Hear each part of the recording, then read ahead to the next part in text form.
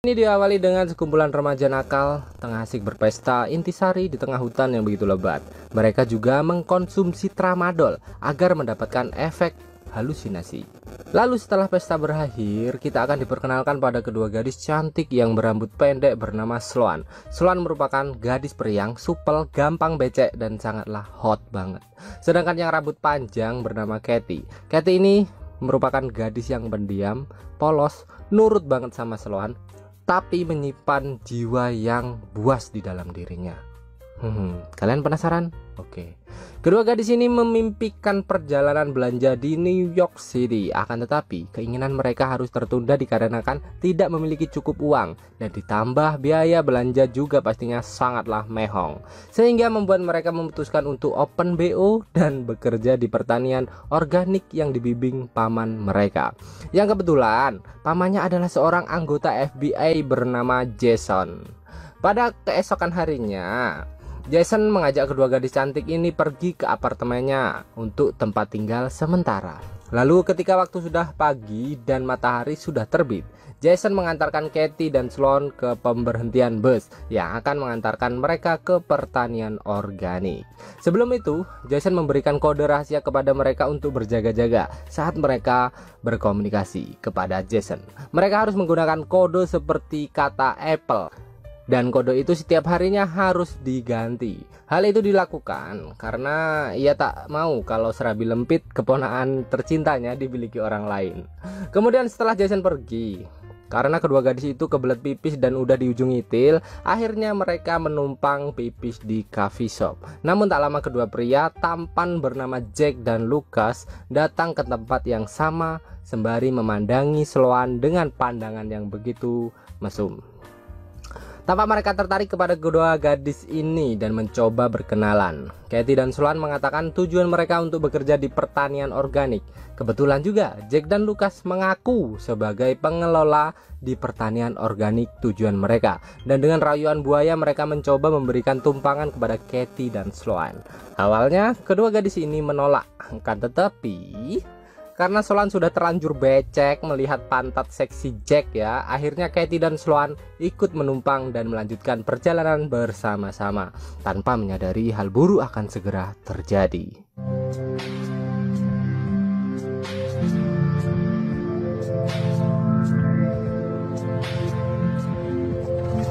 Dimulai dengan Jack dan Lucas membawa mereka ke rumahnya yang disambut hangat oleh ibunya dengan penuh senyuman. Ibu ini juga menawarkan secangkir teh ganja yang membuat mereka sangat-sangat senang. Tapi selang beberapa saat, Sloan yang sudah terbiasa pakai narkotik, ia menyadari bahwa mereka telah dibius. Tanpa berpikir panjang sebelum pingsan, Katie dan Sloan mencoba melarikan diri. Akan tetapi, usaha itu sia-sia saja karena Jack dan Lucas berhasil membawa mereka kembali ke rumah mereka.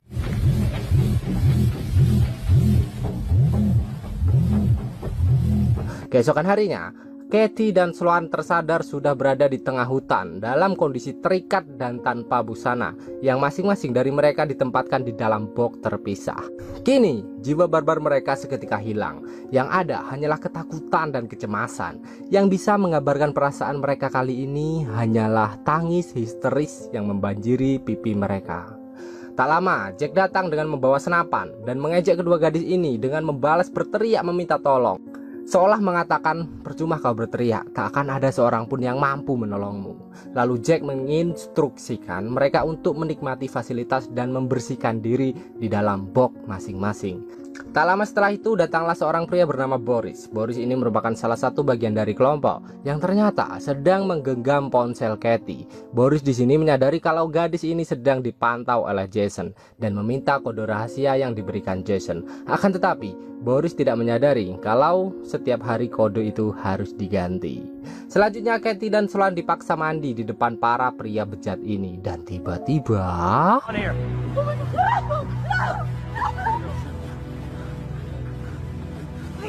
Muncullah Sheriff yang bernama Andrews yang mencoba menyelamatkan kedua gadis ini dan faktanya Sheriff ini adalah bagian dari kelompok penculik gadis yang sedang berakting seolah-olah menyelamatkan Katie dan Sloan yang tidak lain hanya untuk membuat kedua gadis ini semakin tertekan sehingga menuruti semua permintaan bejat para pria ini. Dan tentu saja Kita tahu apa yang akan dilakukan Syarif bejat ini. Ya, merenggut keperawanan Sloan hingga ia menangis tanpa air mata. Ternyata tujuan mereka menculik kedua gadis ini tidak lain tidak bukan hanyalah untuk memuaskan nafsu bejat para pria penduduk desa. Dimulai dari pria culun rambut gondrong, namun psikopat karena memperkaos Kathy dan menyakiti Kathy di dalam box.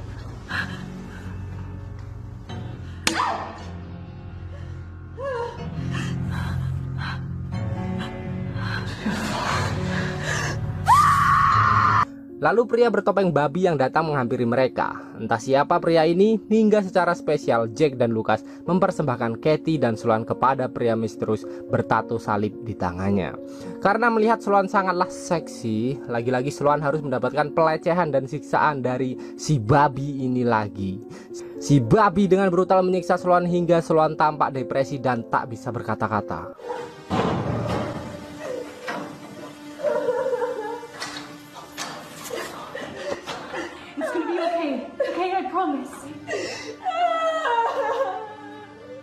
Di sisi lain, Jason sangat khawatir tentang kedua gadisnya yang tak kunjung pulang. Jason di sini sadar kalau Katie menggunakan kode pesan yang salah.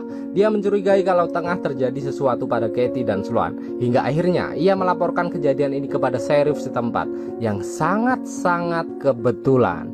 Sheriff yang menangani kasus itu adalah Sheriff Andrews yang tentu saja Andrews hanya bersikap biasa aja seolah-olah menyakitkan Jason untuk santai dan tidak akan terjadi apa pun. Karena sangat khawatir Jason yang seorang FBI pada akhirnya mencoba menyelidikinya sendiri walaupun tanpa surat perintah. Dan menuju ke pisop tempat terakhir yang ia ketahui saat Katie dan Sloan menghilang. Di sana ia juga mendapatkan informasi penting dari pelayan toko. Sebelum Katie dan Sloan menghilang, mereka diajak kedua orang pria yang mengendarai mobil pickup berwarna biru. Sementara di dalam hutan, kabar itu terdengar cepat sampai ke telinga penjaga yang menahan Katie dan Sloan. Akibatnya, Boris datang kembali dan marah kepada mereka karena telah merasa dibohongi tentang kode rahasia tersebut. Kemudian Katie mendengar pembicaraan Boris dan Jack bahwasanya mereka akan membunuh Katie dan Sloan agar kehilangan jejak. Di sini Sloan hanya menangis meratapi nasibnya yang tengah di ujung tanduk. Keesokan harinya dikala kedua gadis ini sedang menikmati detik-detik terakhir mereka Datanglah pria gondrong yang menggenjot mereka kemarin Yang ditugaskan untuk menjaga Katie dan Sloan. Karena Boris dan Jack tengah disibukkan untuk mempersiapkan proses pembantaian Katie dan Sloan. Dan di sinilah kita akan melihat siapa Katie sebenarnya.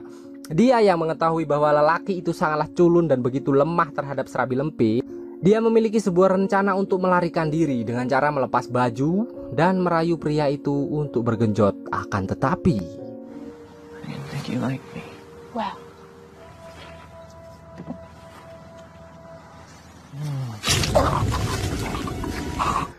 Katie dengan brutal menggigit pria itu hingga tewas di tempat. Lalu berhasil membuka borgol yang mengikat itil mereka. Tak lama kemudian, Sheriff Andrews yang baru saja tiba dibuat sangat marah karena melihat mayat penjaga tergeletak di sana. Ditambah lagi, mobil Sheriff dicolong oleh kedua gadis barbar ini. Setelah berhasil kabur dan hendak pulang, Katie dan Sloan tak sengaja bertemu dengan kedua gadis bersemangka jubu. Dan saat itu juga jiwa barbar mereka kembali muncul yang memutuskan untuk membalas dendam karena nggak dibayar setelah dipakai. Waduh. Yang dengan santainya bergelenggong mengenakan sempak ke toko bangunan untuk berbelanja kebutuhan psikopat.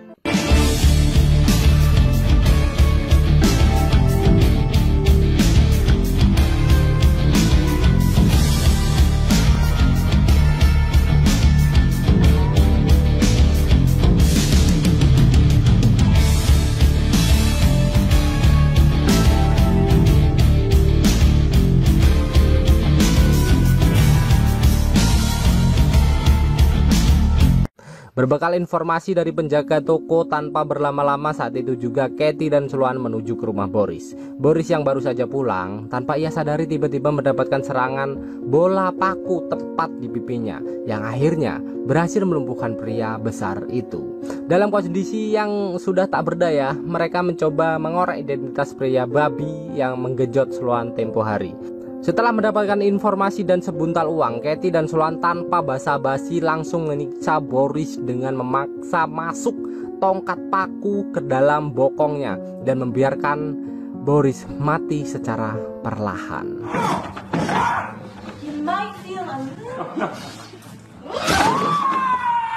Selang beberapa saat datanglah Jason ke rumah Boris. Untungnya kedua gadis ini tidak berpapasan dengan Jason. Dan saat Jason masuk, betapa terkejutnya ia ketika melihat lubang yang menganga berlumuran darah. Lalu Katie dan Solon segera menuju ke target berikutnya yaitu pria babi. Yang faktanya, pria itu merupakan pastor di salah satu gereja yang ramai pengunjung. Awalnya pria itu tampak tak gentar dan malah mengancam balik Solon ketika melihatnya. Tapi tiba-tiba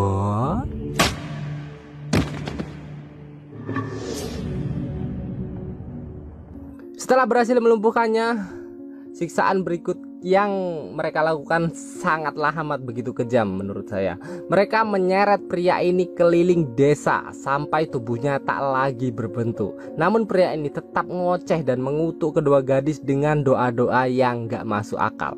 Lalu lanjut membakarnya secara hidup-hidup. Waduh ngeri cuy Yang saya heran kenapa kok nggak ada penduduk yang lihat waktu diseret ya Padahal kan banyak perumahan hmm, Entahlah namanya juga film ya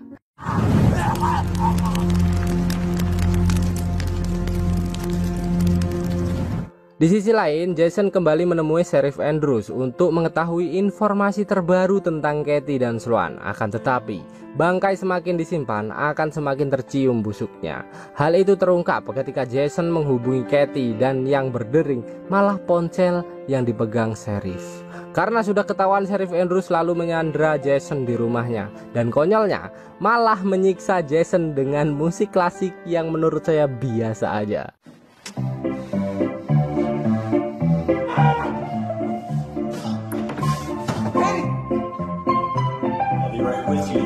Sedangkan Sheriff sedang disibukkan mencicipi gadis baru hasil penculikan mereka.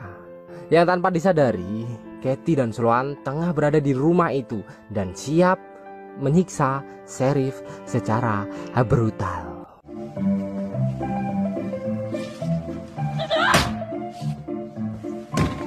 Setelah Sheriff berhasil dilumpuhkan, di sini mereka lalu mencoba sebuah permainan yang bernama Russian Roulette. Apa itu Russian Roulette Bang? Ya dulu saya udah pernah jelasin. Jadi kalian tonton aja videonya, link ada di komentar. Oke, kalau nggak ada ya udah lupa berarti saya. Di sini mereka menyiksa Sheriff dengan menghancurkan mentalnya, sama seperti saat Sheriff menjatuhkan mental mereka kala itu. Dengan bergantian menembakkan pistol jenis revolver yang diisi satu peluru dan bergantian saling menembak tanpa henti. Hingga akhirnya mereka benar-benar membunuh Sheriff di depan para gadis Sandra bersemangka mantap atap ini.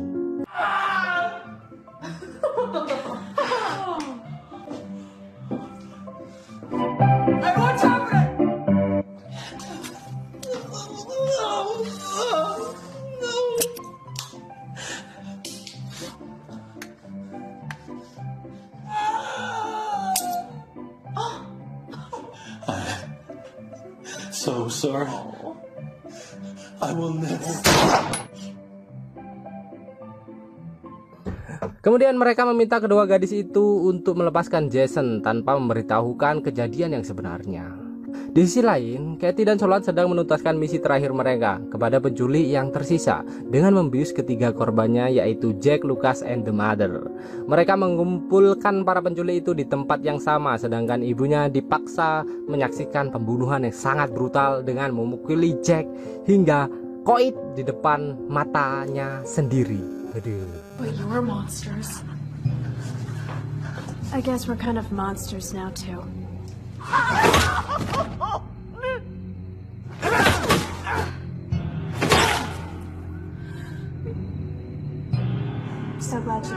Lalu karena mereka melihat Lukas adalah pria yang lumayan baik, mereka mencoba memberi kesempatan untuk hidup. Akan tetapi harus membunuh ibunya sendiri.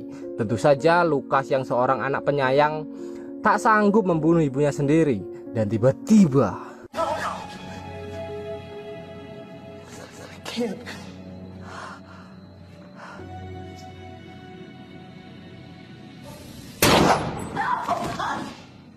Lukas dibunuh dengan tanpa belas kasih. Dan untuk yang terakhir, Katie dan Solan memberikan kejutan yang amat sangat mengerikan menurut saya di mana mereka dengan sadisnya bergantian mencabi-cabi tubuh sang mother dengan menggunakan mesin cuci.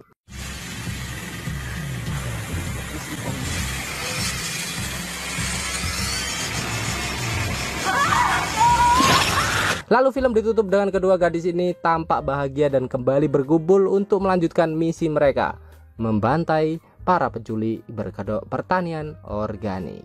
Dan film pun ada Sungguh ending yang begitu memuaskan ya. Dan sekali lagi saya mengingatkan kalau balas dendam itu nggak bagus dan kalau kalian menganggap di film ini endingnya bahagia kok bang nggak apa-apa aku balas dendam. Itu semua cuma cerita fiktif aja. Kalau aslinya orang-orang yang pendendam biasanya tuh matinya cepet coy. Contohnya kena stroke gitu serangan jantung terus kelilit utang terus jatuh di kamar mandi pokoknya jelek lah dan untuk filmnya lumayan bagus sih untuk ceritanya. Sih keren banget. Tapi untuk penggarapannya ya begitulah. Kalian bisa tonton sendiri aja gitu ya. Kayak kayaknya bagusan diceritain aja sih. So terima kasih. Sampai jumpa dan parkirnya bos. Jangan lupa. Oke. Okay. bye bye semoga makin panjang makin besar dan berurang